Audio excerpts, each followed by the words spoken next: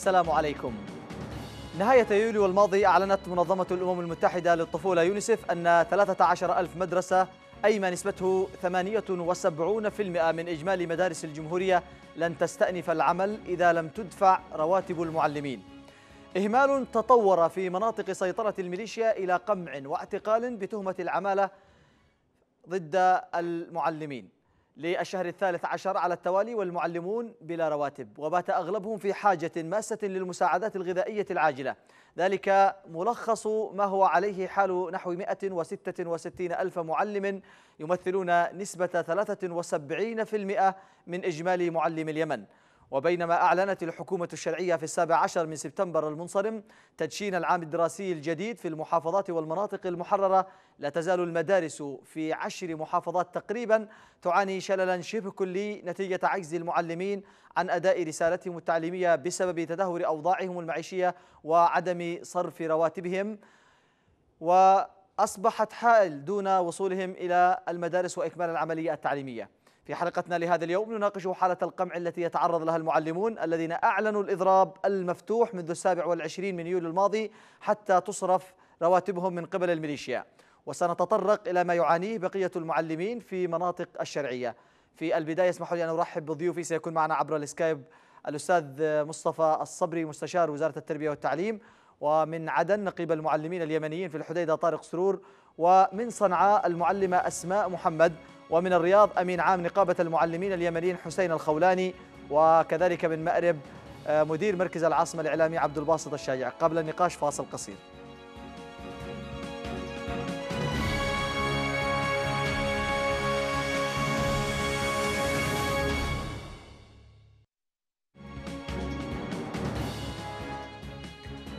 حياكم الله مشاهدينا الكرام وأبدأ هذه الحلقة مع الأستاذ مصطفى الصبري مستشار وزارة التربية والتعليم من الهند. مساء الخير أستاذ مصطفى.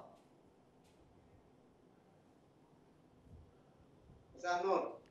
مرحبا بك أستاذ مصطفى. في البداية كيف تتابعون أنتم في وزارة التربية والتعليم حال المعلمين في اليمن بشكل عام وفي بصورة خاصة المعلمين الذين يخضعون لسيطرة الميليشيا الذين باتوا ربما لعام وثلاثة أشهر بدون رواتب؟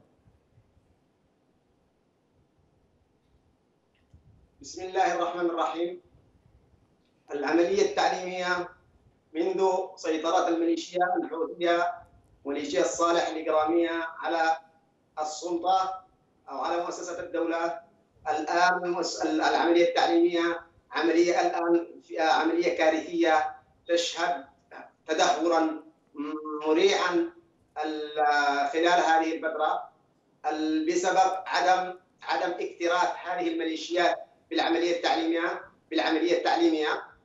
هناك هناك آه ممارسة ممنهجة ممارسة ممنهجة لتدمير العملية التعليمية من قبل هذه الميليشيات آه هناك نهب لحقوق المعلمين لرواتب المعلمين. هذه السنة الثانية الآن تدخل السنة الثانية والمعلمون لا يستلمون رواتبهم لا يستطيع المعلم لا تستطيع أن نتقدم بالعملية التعليمية أو تتقدم العملية التعليمية إذا لم يكن هناك المعلم أو لم تعطى حقوق المعلمين. أقل هذه الحقوق التي يجب أن تعطى للمعلم هي الراتب. والآن هذه الميليشيا هذه ال ال ال هذه الميليشيا مارست مارست انتهاكات بحق المعلمين. وأولى هذه الانتهاكات وأكبرها هي نهب حقوقهم ونهب آه ونهب آه رواتبهم.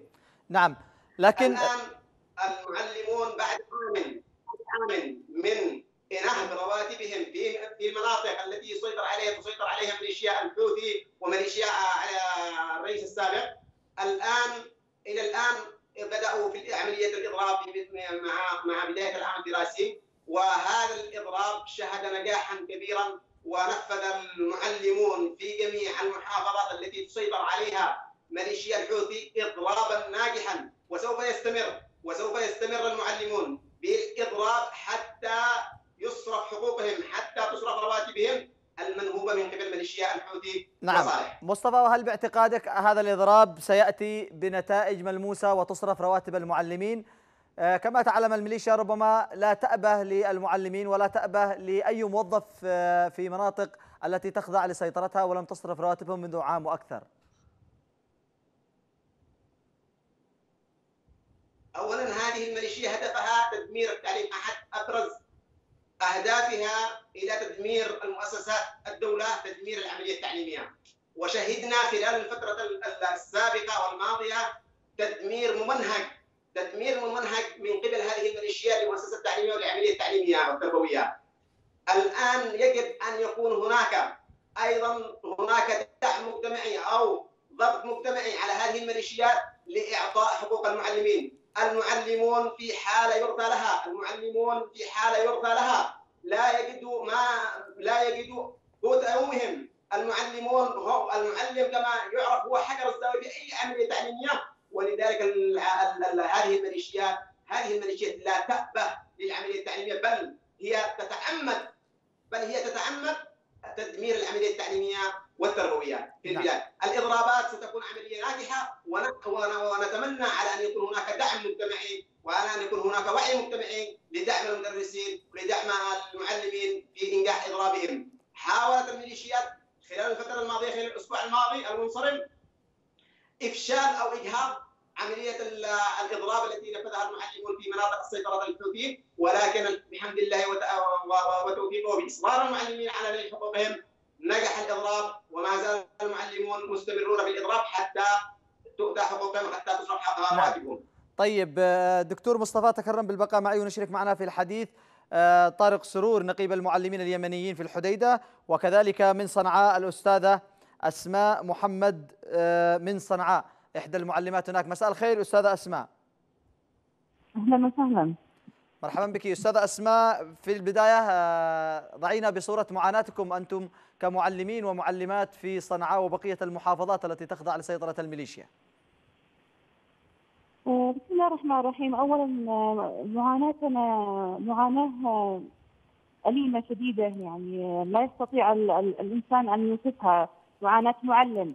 آه كنا نسمع المعاناة مختطفين معاناة معذبين سجناء لكن أن يكون ركيزة الوطن المعلم يكون هو الذي يعاني وهو الذي يتألم هذه مشكلة كبيرة جدا ويعتبر أن اليمن انتهى انتهى وفعلا عاد إلى القرون إذا ما قلنا ما قبل الوسطى. يعني أن أن ينتهي الأمر بالمعلم أن يطالب بقوت يومه فهذا مشكلة كبيرة جدا. وأن يستهان بحقه وأن يستهان بدوره في المجتمع هذه مشكلة كبيرة جدا. أيضا أن أن يستبدل بطالبات ثانوية يعني تخيل أنه أنا مدرسة آه، أجد مكاني أخذت واحدة من طالباتي في الثانويات تدرس البنات آه، آه، بدالي. فمشكلة كبيرة جدا وصلنا إلى الاستهانة واحتقار مكانة المعلم إلى درجة سيئة جدا. نعم. في سبب واحد إنه المعلم يدور راتبه إن المعلم يدور حقوقه. وسنه كاملة وإحنا ساكتين يشون السنة الجايه كمان نسكت ونعيش على على بواقي والفتات إن وجد. خلاص انتهى طيب. الفتات الذي كانوا يرمونها السنة نعم. الماضية. طيب أستاذ أسماء. يريدون أن نعيش على على الهواء. يعني قطعوا علينا الماء قطعوا علينا الأكل والرواتب والآن يريدون أن نعيش على الهواء. نعم. طيب. الأمر ليس بسيط. نعم. أستاذة أسماء اذا أنتم الآن أعلنتم عن إضراب المعلمين والمعلمات وبدأتم بوقفات احتجاجية ومسيرات داخل صنعاء هل هناك أي استجابة نعم. لهذه المطالب هل هناك آه، لمستم أي تفاعل من قبل السلطات الميليشيا في صنعاء والله إلى الآن لم نجد أي أي استجابة، استجابتهم الوحيدة أنه كلام يعني الآن لا زال كلام يعني وكلام خائف مترقب يعني ما الذي سيصير بعد هذا الكلام. إنه معاكم نص راتب والنص الثاني سيكون بطائق تموينية، بطائق تموينية نريد أن نرميها في وجوههم لأن البطائق التموينية كانت كلها آه، مواد فاسدة وبواقي المخازن التي جابوها للمدرسين، وصلت وصلنا إلى إلى درجة من الاستحقار وإهانة المعلم لدرجة غير معقولة. لم نجد أي استجابة إلى الآن ولا زلنا مستمرين حتى نجد استجابة، لن ندرس ولن نفتح مدارسنا ما دام المعلم آه، وصل لهذه المرحلة من من الاستهانة فلن فلن ندرس حتى نجد حقوقنا. على الأقل حقنا في الراتب لا نقول تكريما ولا نريد آه، ال ال ما يسمونها هذا العلاوات. لا نريد نريد راتبنا نريد حقنا. نريد أن نعيش كوادم كإنسان. أما لهم السيارات والبيوت وال والضرائب بالمليارات ويسرقونها بالملايين. وصلت مديونية اليمن إلى بلايين. مش مش مليارات مليارات انتهت. هذا صار زمان.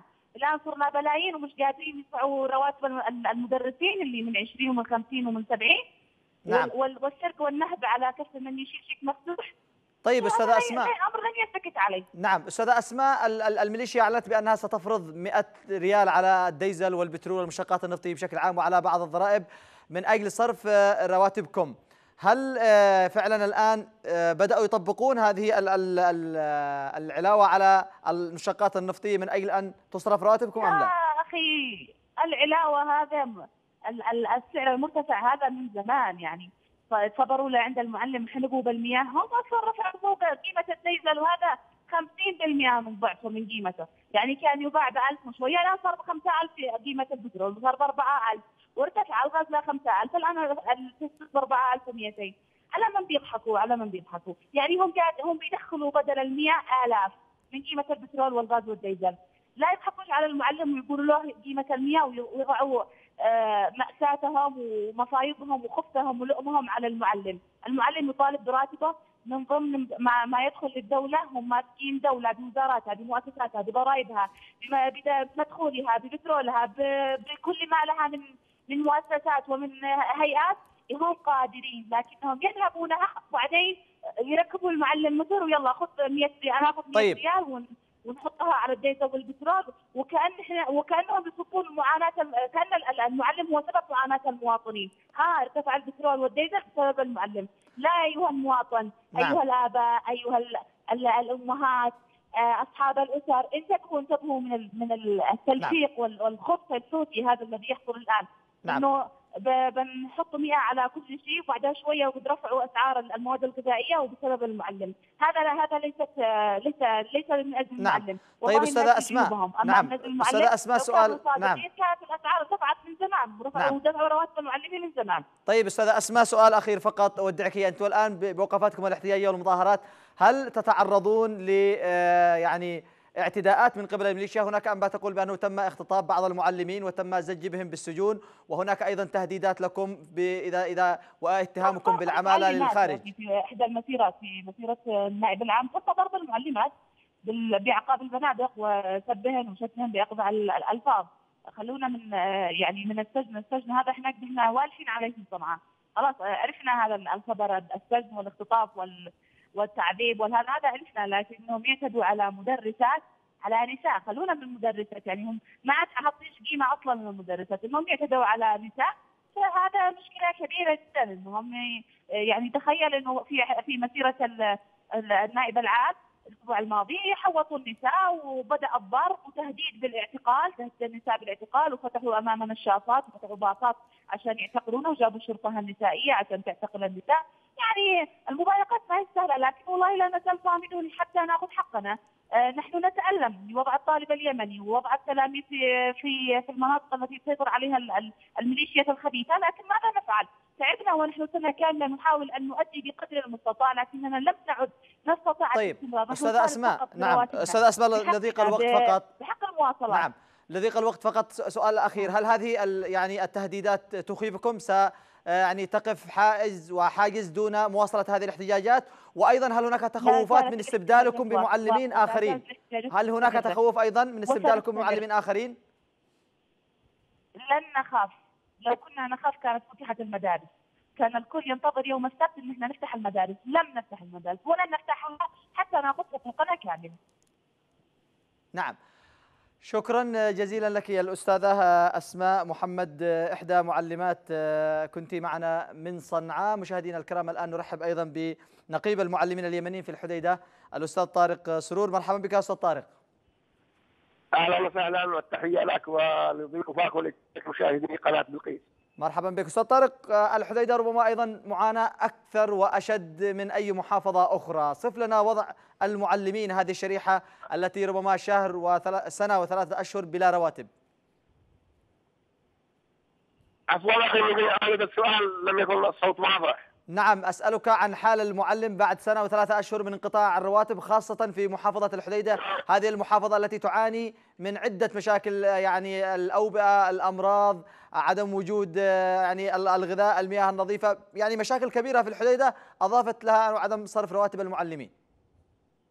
نعم أخي الكريم آه، لا يخفى على الجميع الوضع المؤلم والوضع المؤسف والوضع المتردي. الذي وصل إليه الذي وصل إليه الحالة المعيشية بشكل عام وحالة المعلم بشكل خاص كونه يعتمد على راتبه فقط.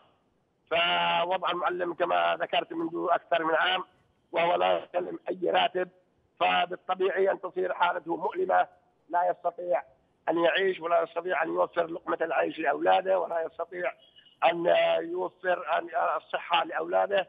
فبالتالي حالته النفسية حالة سيئة جدا. وللأسف الشديد آه، وجدت حالات انتحار لأكثر من معلم في محافظة الحديدة. للأسف الشديد آه، اتجه كثير من المعلمين لممارسة أعمال أخرى وبسيطة مثل آه، الاعتماد على الدراجات النارية أو بيع الأسماك أو العمالة اليومية لتوفير قوت قوتهم وقوت أولادهم. وبالتالي أثر على الناحية التعليمية بشكل عام من قبل حتى أن يبدأ الاضراب فالعمليه التعليمية في محافظة الحديده بالذات آه، تكاد تكون مشلولة منذ العام الماضي فعلا على الواقع الطبيعي لم يتم لم تتم الدراسة بشكل عام وإنما نعم. إلى وقت الامتحانات وتم طيب. آه تقديم الامتحانات والعمل على إنجاح الطلاب في عمل ممنهج لإفشال العملية التعليمية والاستهداف المعلم والتربوي والتربوي بشكل خاص. طيب أستاذ طارق الآن ما ترى وتتابع ما يحدث الآن في صنعاء من وقفات احتجاجية ومسيرات للمعلمين والمعلمات في صنعاء وعلى وجه التحديد المعلمات الذين خرجنا وكسرنا جدار الصمت في صنعاء ويطالبين بالرواتب وأغلقوا جميع المدارس حتى تصرف الرواتب. ما هو الوضع في الحديدة؟ هل هناك من حركة تجمهر تظاهر احتجاج ضد الميليشيا أم لا؟ نحن نحيي اول نحيي أخواتنا وزملائنا المعلمين في صنعاء الذين كسروا حاجز الصمت وخرجوا للمطالبة برواتبهم وهذه حق من حقوقهم الطبيعية. آه، نحيي نقابة المهن التعليمية التي دعت إلى الإضراب. الوضع في الحديدة مثل ما ذكرت لك آه، وضع مؤلم وقبضة الميليشيات آه، مسيطرة بقسوة على المحافظة. منذ بداية الانقلاب تم التركيز على فئة التربويين والمعلمين. فتم اعتقال كثير من قيادات نقابة المعلمين تم لا زال رهن الاعتقال الآن كثير من رؤساء اللجان النقابية في المديريات لا زال رهن الاعتقال كثير من أعضاء نقابة المعلمين. هناك أيضا معلمين قضوا للأسف الشديد وماتوا تحت التعذيب في سجون الميليشيات وكان كل هذا أيضا بموافقة وتماهي نقابة المهن التعليمية للأسف الشديد الذي هي تماهت مع الانقلاب منذ أول أيامه. وبالتالي قضوا أو استطاعوا إلى حد ما أن أن يقضوا إلى حد ما على صوت نقابة المعلمين اليمنيين في الحديده والعمليات التربويه بشكل عام افشلت فعلا لم تكن هناك دراسة لم يكن هناك رقابة لا تستطيع آه، بالتالي اي جهه أن تراقب. كما ذكرت لك منذ بداية الانقلاب تم الاهتمام والتركيز بفئة التعليم بتجهيل المجتمع نعم نعم أستاذ بداية من أستاذ طارق أستاذ طارق وادارات نعم. المكتب والمدرسين نعم. وكل. المناوئين لهم نعم نعم أستاذ طارق يعني كان سؤالي يعني في هل هناك مثلا حركة لوقفات احتجاجية لخروج المعلمين والمعلمات في محافظة الحديده أم لا؟ هناك هناك بعض الحركات التحركات البسيطة أيضا من قبل الأخوات المعلمات ونحن قد وجهنا كافة أفرادنا وبالذات المعلمات للخروج والاستجابة لمطالب الإضراب آه، الحركة بالنسبة للمعلمين فيها شيء من الصعوبة نتيجة للتعامل القاسي والقوي من قبل ميليشيات الحوثي عفاش تجاه أي محاولة للإضراب أو للكلام. كون كثير من من مدراء المدارس في المعتقلات وكثير من المدرسين في المعتقلات. نعم، طيب أستاذ طارق تكرم البقاء معي وأيضا الدكتور مصطفى الصبري. سنذهب الآن لمتابعة تصريحات عن الاحتجاجات التي يقوم بها المعلمين والمعلمات في صنعاء وفي بعض الأماكن للمطالبة بصرف رواتبهم ومن ثم نكمل النقاش. طبيعة هذه الميليشيات أنها غير قابلة للتعامل مع الآخرين مطلقا. لا تعرف إلا هوى نفسها وطريقة أسلوبها في التعامل مع الناس. لا تقيم وزنا للآخرين لا للمعلم ولا للإنسان ولا لأي شيء في الحياة. هم دائما يتحركوا كما لو كانوا بعيدين عن عن الانسانيه بمطلق الحال. المعلم هو هو, هو أساس كل شيء في الحياة لأنه حتى التطور في التعليم هي اذان بدخولنا إلى حياة مزدهرة. لما حصل غزو الفضاء من جهة الاتحاد السوفيتي آنذاك. قالوا يعني درسوا في الولايات المتحدة الأمريكية لماذا يحصل يعني غزو الفضاء؟ أجابوا قالوا إنه في خلل في التعليم. فالمعلم في حد ذاته لكن هؤلاء الناس ماذا نقول عنهم؟ هم غير قابلين للتعايش مع الآخرين بمطلق الحال تمام؟ ولا يمكن أن يتعايشوا مع الآخرين العاديين. ما بالك المعلم؟ هم ضد التعليم أصلا هم ضد الثورة. مش مش المستهدف لا أنا ولا أنت ولا أي واحد. المستهدف ثورة سبتمبر ثورة أكتوبر الجيل الذي بيأسس لهذه الثورة. على أي حال. طبعا هذه الممارسات القمعية التي آه، يمارسها الانقلابيين على سواء على شريحة المعلمين أو غيرهم من الشرائح المجتمعية الأخرى يدل على ضيق الأفق وعدم القدرة على آه، تبني آه، حقوق الناس أو عدم القبول والاعتراف بأن الناس لهم حقوق يجب أن على السلطات القائمة وسلطات الأمر الواقع أن تؤديها. تأتي الانتهاكات والإيذاء للمعلمين بسبب مطالبتهم لمرتباتهم في إطار المنهج الإمامي المتبع منذ ألف عام في تجهيل المجتمع. وفي تجهيل المجتمع ثم الطلب منه بأن لا يطالب بحقوقه أيا كانت وهذا منهج سلالي إمامي متبع منذ ألف عام لا نستغربه ولا حل بذلك إلا بإزالة الإنقلاب لتزول هذه الآثار المترتبة عليه وهذه الآثار الملازمة له وشكرا لم يجد الموظفين في محافظة تعز مبررات. كل ما, ما, ما يصل إليهم هو عبارة عن مجموعة من الوعود الكاذبة ومجموعة من المبررات الواهية لقطع الرواتب بينما السبب الحقيقي لم يوجد ولا توجد أي أي أي, أي مبررات لقطع هذه الراتب. نفس الشيء في مناطق التي تحت سيطرة الحوثيين. فهم يعانوا أشد من المناطق المحررة. فكل من يحاول البحث عن راتبه يجد نفسه تحت طائلة دعم العدوان وتحت طائلة العمالة. بالتالي أصبحوا في المناطق الغير محررة رهينين لا يستطيعون البحث عن رواتبهم ولا يستطيعون المطالبة بحقوقهم. خاصة أخواننا في صنعاء. إذا خرجوا مظاهرة واقعوا قمع وظاهروا واقعوا اعتقالات.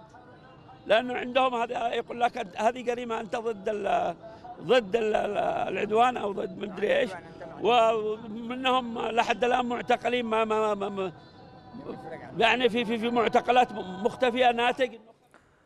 حياكم الله مشاهدينا الكرام. إذا تابعنا هذه التصريحات ربما لخصت المعاناة التي يعني يشكو منها شريحة المعلمين والمعلمات في اليمن خاصة في المناطق التي تخضع لسيطرة الميليشيا. اعود إلى الهند عبر السكايب مع الدكتور مصطفى الصبري مستشار وزارة التربية والتعليم. دكتور مصطفى لا شك أنه الآن أصبحت العملية واضحة بالنسبة للحوثيين وربما كما تحدث وتحدث الأستاذ طارق بأن هناك عمل منهج لإجهاض العملية التعليمية وتجهيل آه، الجيل الآن في في في اليمن وربما نشر ثقافة الطائفية والعنصرية ومناهج وملازم الحوثيين بشكل ربما كبير جدا وتم تعديل آه، أيضا في في المناهج. دور وزارة التعليم لإيقاف هذا التجريف للعملية التعليمية للحد منها على الأقل للحفاظ على هذا الجيل من يعني آه، إيصاله إلى مستوى التجهيل أو حرف أفكاره وتغذيته بأفكار طائفية وعنصرية.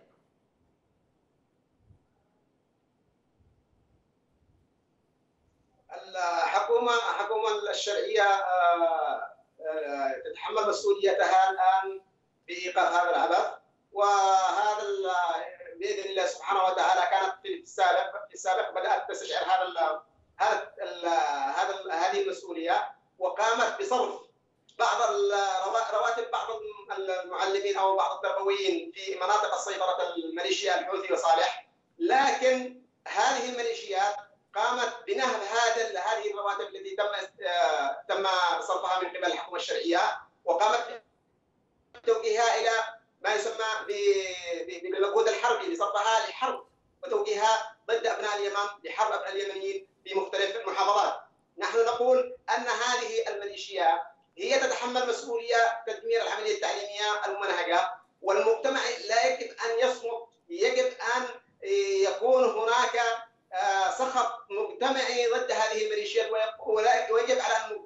كل المناطق التي يسيطر فيها يسيطر فيها عليها الشيخ الحوثي أن تضغط بقوة لإيقاف هذا العبث إلى جانب الحكومة الشرعية وإلى جانب ما يقوم به المعلمين. وهنا أيضا من هذا المنبر من, من على قناتكم الرائعة أوجه تحية لكل لكل تربوي ولكل ولكل معلم ابى أن أبى أن يذهب إلى أو يعود إلى إلى إلى مدرسته إلا بعد أن ياخذ مستحقاته، نحن على ثقه أن المعلمون ان المعلمين لديهم الاصرار ولديهم عزيمه على ان لا يبداوا هذا العام بمناطق الا بعد صرف مستحقاتهم كامله وعلى الحكومة الشرعيه أيضا ان تعجل بعمليه الحسم والسيطره على المناطق التي يسيطر عليها الحوثيين وعندها في الفترة القريبه ان شاء الله ومن ذلك سيكون انهاء لهذه العملية السيطره أو نعم. تدمير الممنهج الميليشيات طيب. الحوثي تدمير العملية التعليميه في هذه المناطق طيب. نحن نقول هناك هناك عمليه ممنهجه وعلى والذي والذي تتحمل الجهه التي تتحمل هذه المسؤوليه هي ميليشيا الحوثي وصالح منذ ان سيطرت على الدولة وسيطرت على مؤسسه الدولة كان هدفها الأول واقول هنا واكررها كان هدفها الأول هو استهداف التعليم وتدمير العملية التعليميه لانهم لا يستطيعون ان يعيشوا الا في مجتمع جاهل، تجهيل المجتمع هذا كان هدف من اهداف هذه الميليشيا ولن تتوقف بنهب ولن تتوقف عند هذا المستوى بل ستسعى إلى ما هو أكثر من ذلك سعت في السابق إلى تغيير المناهج الدراسيه بمناهج أو بمنهج منهج عنصري طائفي والان نهب مستحقات المعلمين والآن تمارس الضغط على المعلمين وصار كل أنواع الانتهاكات وأحمال طيب. للمعلمين الذين طيب دكتور مصطفى نعم نعم طيب دكتور مصطفى نعم. ابقى معي نشرك معنا في الحديث الآن من مأرب مدير مركز صنعاء الإعلامي الأستاذ عبد الباسط الشاجع مرحبا بك أستاذ عبد الباسط أستاذ عبد الباسط هل تسمعني؟ أيوه نعم أسمعك أستاذ بشير مرحبا بك أستاذ عبد الباسط. أنتم في مركز صنعاء الإعلامي. كيف تتابعون الانتهاكات والممارسات ضد المعلمين والمعلمات الذين توقفت رواتبهم؟ والآن بدأت تمارس الميليشيا ضدهم القمع والترهيب في صنعاء وغيرها من المحافظات. اولا نحيي المعلمين والتربويين الذين يخوضون معركة نضال وصمود مع ميليشيات الحوثي والمخلوع صالح في العاصمة صنعاء وجميع المحافظات اليمنية. آه هذه الشريحة العظيمة التي خرجت إلى الشوارع تطالب آه بصرف المرتبات التي صادرتها الميليشيات منذ عام وحولتها لصالح مجهودها الحربي آه تعيش ظروف صعبة للغاية.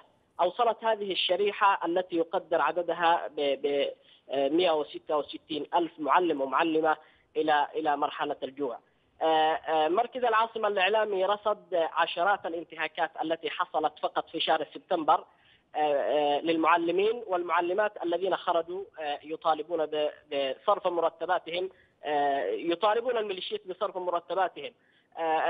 اقتحمت مدارس أكبر أكبر مدرسة في العاصمة صنعاء للبنات وهي رابعة العدوية. أيضا قيادات الحوثي في وزارة التربية والتعليم اتهمت من يتظاهر أو يضرب عن العمل من الموظفين التربويين بالانتماء إلى الأرهاب كما هي كما هي الدعاية جاهزة في أي وقت من قبل هذه الميليشيات. يحيى يحيى الحوثي أيضا الذي يدير وزارة التربية والتعليم هدد المعلمين المضربين وهددهم بالاستبعاد من الوظيفة العامة في حال استمروا بالإضراب. أيضا رصد مركز العاصمة الإعلامي قبل يومين. وكيلة مدرسة وكيلة مدرسة الفرات في وسط العاصمة صنعاء قامت بتعيين طالبات في الصف الثالث الثانوي كمدرسات لطالبات فصول أخرى وهي أيضا في محاولة لإحلال واستبدال المعلمين المضربين.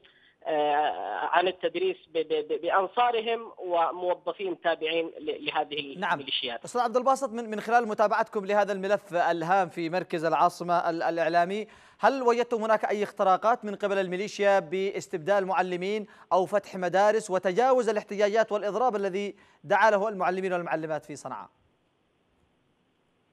آه، نعم آه، قام الحوثيين والميليشيات بتوزيع استمارات رصدها المركز مركز العاصمة الإعلامي استمارات آه، للراغبين في التطوع من أنصار الحوثيين في قطاع التعليم بدل عن المعلمين المضربين وتوعدوهم أيضا بإجراءات قانونية في حال عدم انتظامهم بالدوام والاستعانة بمدرسين من الموالين لهم. أيضا شهدت العاصمة صنعاء في الآونة الأخيرة تدشين مدارس خاصة أهلية تابعة لميليشيات الحوثي تريد أن تعوض الإضراب الحاصل في المدارس الحكومية آه، من أجل آه، آه، ان تسترد الطلاب الذين يواجهون الفراغ. يعني فتحت لهم آفات في في في التدريس في مدارس خاصة تابعة لها. وهذا موضوع أيضا خطير لأن المنهج لأن لأن المنهج خاص بفكر الجماعة وليس المنهج الذي يدرس في المدارس الحكومية والمعتمد آه، آه، من قبل وزارة التربية والتعليم. نعم.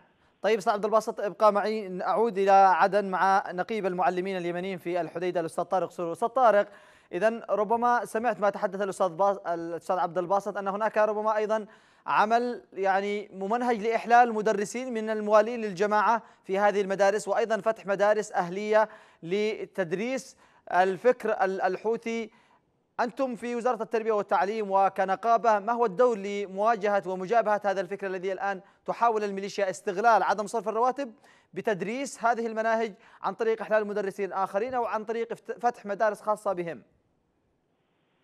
أخي الكريم هذا الفكر هو مرفوض تماما من المجتمع اليمني الذي آه، يعيش بالتعايش بين المذاهب على مدى قرون وأتت هذه الجماعة لتعيدنا إلى عصور آه، ماضية وإلى ثقافة عنصرية نتنة.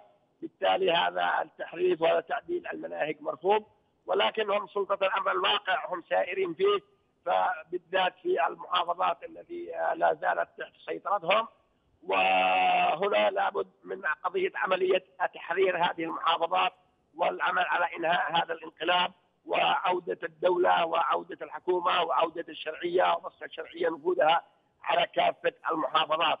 ليس هناك بديل طالما وهذه الميليشيات لا زالت تحكم طالما ويحيى الحوثي وزيرا للتربية والتعليم بكل أسف بالتالي لم لم لم يكن هناك أي حلول إلا بالحسم العسكري وتحرير هذه المحافظات من قبضة الميليشيات وعودة الدولة المدنية إليها. نعم.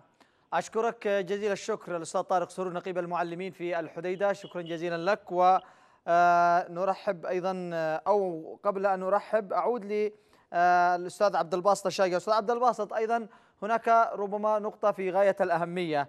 أنتم تابعتم أيضا البطائق السلعية وتحدثت الأستاذة أسماء كانت من من صنعاء على مقدار المغالطة وأيضا مقدار يعني بيعهم سلع منتهية لاستغلال المعلمين وحاجتهم. في هذا الملف تحديدا ما الذي رصدتموه في البطائق السلعية التي تصرفها الميليشيا وتحاول استبدال رواتبهم بهذه البطائق؟ وكيف تتم هذه العملية؟ آه هذه آه أكبر عملية احتيال مارستها ميليشيات الحوثي وصالح. على المعلمين وجميع الموظفين أيضا آه المنقطعة مرتباتهم منذ عام آه هي هي كما قلت أكبر عملية احتيال آه، يرفضها المعلمون. آه، وإذا لم يرفضوها إذا لم يرفضوها لم ينزلوا إلى الشوارع أصلا. فهم رافضين رافضين أيضا لمقترح أو إقرار آه، حركة الحوثي لإعطائهم أو منحهم نصف راتب. هم رافضين آه، شبه كامل. ومركز العاصمة التقى بالعشرات من المعلمين وأكدوا استمرار التصعيد الاحتجاجي آه، ضد ضد الحوثيين حتى صرف مرتباتهم وأيضا الكف عن تعديل المناهج مناهج التعليم وتفخيخ مستقبل الأجيال القادمة. آه، فهذه زي ما قلت هي أكبر عملية احتيال يرفضها جميع المعلمين ولن يكفوا عن عن التصعيد آه، هذا إلا بصرف آه، كافة حقوقهم. أشكرك جزيل الشكر مدير مركز العاصمة الإعلامية الأستاذ عبد الباسط الشاجع. كنت معنا من محافظة مأرب. مشاهدينا الكرام الآن نذهب لمتابعة هذه المادة المعلوماتية التي عدها الزميل وديع عطاء عن حالة المعلمين وعن آه، مقدار المغالطة التي تمارسها الميليشيا ضدهم وتجريف العملية التعليمية بشكل عام. ومن ثم نكمل النقاش.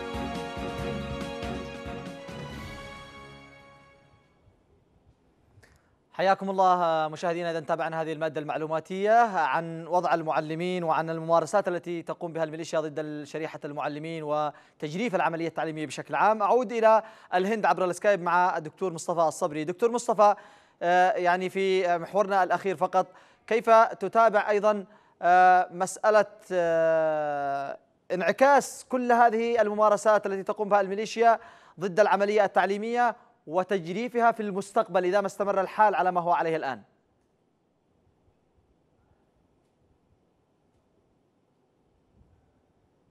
ربما فقدنا الاتصال بالدكتور مصطفى. آه، سأنقل التساؤل ل آه، إذا إلى أن يجهز الاتصال بالدكتور مصطفى. تابعنا إذا هذه المادة المعلوماتين طبعا الميليشيا تحاول أن آه، تدمر العملية التعليمية في في اليمن. الآن ما يقارب سنة وثلاثة أشهر والمعلمون بلا رواتب. آه الآن رقعة ومساحة الاحتجاجات بدأت في صنعاء بتزداد يوم عن يوم وهناك إضراب كامل في جميع المحافظات التي تخضع لسيطرة الميليشيا بعد دعوة نقابة المعلمين لهذا الإضراب حتى تصرف جميع الرواتب. هناك آه يعني آه الميليشيا تصرح أكثر من مرة بأنها ستعمل حلول لصرف رواتب المعلمين لكن المعلم إلى هذه اللحظة لم يلمس أي تغير.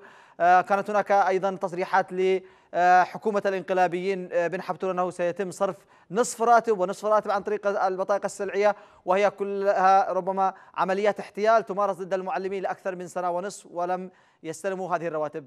آه الآن آه، مضطرون نختم هذه الحلقة ولكن نقرأ تعليقاتكم حول موضوع الحلقة في صفحتنا على البرنامج في الفيسبوك ونبدأ مع صديق البرنامج الأخ عبد السلام بن وهيب يعلق بالقول رأيي أنهم أكلوا الأخضر واليابس وأدخلوا البلاد في دوامة ليس لديهم أي خبرة في السياسة والحكم. وكما يقول المثل احذر من القبيل إذا تمدن. الأخ عبد السلام. رأي آخر أيضا من أصدقاء البرنامج مع الأخ أحمد آه، حلبوب. يعلق ما عسانا أن نقول كارثة نكبة جائحة حلت باليمن لتلقي بظلالها الكارثية على اليمنيين حتى وصلت إلى عنوان التقدم ومصدر الرقي. صبرا جميلا أيها المعلم. فالمعركة جوهرها بين الظلام والنور بين الحق والباطل. لا لن يعود الجهل مهما حاولوا أو شككوا في معطيات نضالنا. الأخ آه، الوهيب. أحمد الوهيب. طيب أيضا رأي آخر من صديق البرنامج. الأخ نبيل ناجي يعلق بالقول عمل إجرامي وانتهاك لحرية التعبير. نبيل ناجي. رأي أيضا أخير من أبو مروان الأسدي يعلق بالقول هذا يؤكد على إفلاس ما يسمونها بحكومة الإنقاذ الوطني التي لا تستطيع صرف مرتبات المعلمين وهذا أبسط حق من حقوقهم وفشلها في إدارة الدولة. أبو مروان الأسدي ونكون بهذا الرأي قد وصلنا إلى ختام هذه الحلقة من بين قوسين. آه، شكرا لضيوفي الذين كانوا معنا عبر السكايب الدكتور مصطفى الصبري مستشار وزارة الإعلام. أيضا الأستاذة أسماء محمد كانت معنا من صنعاء إحدى المعلمات. وكذلك نقيب المعلمين في الحديدة طارق سرور وأيضا الشكر لمدير مركز العاصمة الإعلامي الأستاذ عبد الباسط الشاجع كان معنا من مارب. ختام الحلقة تقبلوا تحية معد هذه الحلقة ومنتجها الزميل ودي عطا وهي لكم مني حتى الملتقى بحلقات جديدة من بين قوسين بنفس الموعد ونفس الزمان. حفظكم الله والوطن.